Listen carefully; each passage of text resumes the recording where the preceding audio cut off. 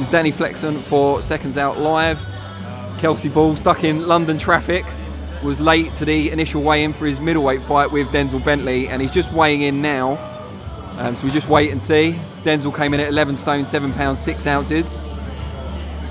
What was it?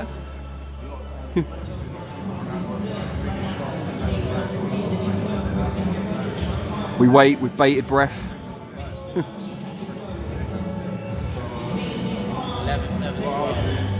Kelcie Ball is 11 stone, 7 pounds, 12 ounces. We wait and see if that 6 ounce weight advantage will make any difference on the night.